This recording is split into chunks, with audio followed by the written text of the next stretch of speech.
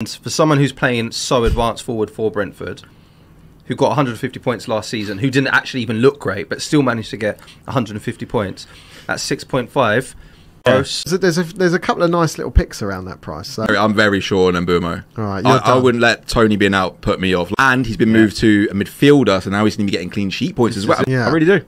So at 6.5, I think he's fantastic Yeah. value, and there's not much downside. Like if he doesn't, if he doesn't bang, Take him out. Bring him out. Just take him out for Mitoma Yeah, or straight Gross. swap. Or, Luka and Mbeumo, decent or no? No. Ugh. Thumbs down. no love for the Brentford. my crew. argument just went straight in the bin. Cheers, Luca. Uh, no further context needed. Right, next uh, next player, please. Some of that. Ooh, Man like Perv. We spoke about him. Taking my lines now. Man like Perv.